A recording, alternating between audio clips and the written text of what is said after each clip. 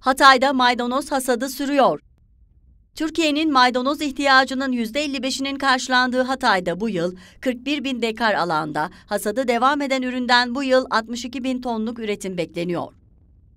2020 yılında maydanoz üretiminin ilimize katkısı 100 milyon lira civarındaydı. Tabii fiyatların yüksek olması sebebiyle bu yıl bunun daha da artacağını düşünüyoruz.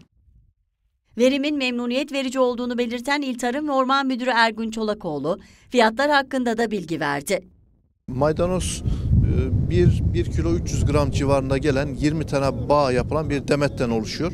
Bunun fiyatı da ortalama olarak 15 lira civarında satımı yapılıyor. Ee, üreticimize, şehrimize bu şekilde bir kazanç sağlıyor. İlde hasat edilen maydanozların bir kısmı Romanya, Macaristan, Rusya, Bulgaristan gibi ülkelere ihraç ediliyor.